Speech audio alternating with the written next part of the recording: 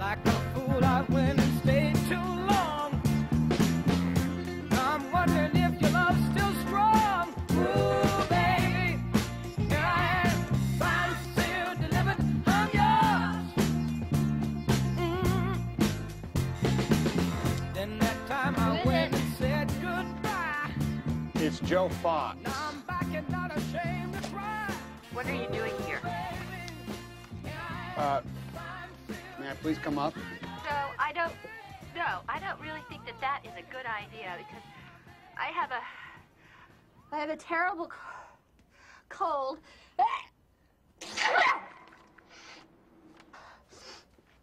Can you hear that? Yeah. Listen, I, I'm sniffling and I'm not really awake, and I'm uh, uh, taking echinacea and vitamin C. I'm sleeping practically 24 hours a day. I have a temperature, and uh, um, I think I'm contagious. So if I would, I would really appreciate it if you would just go away.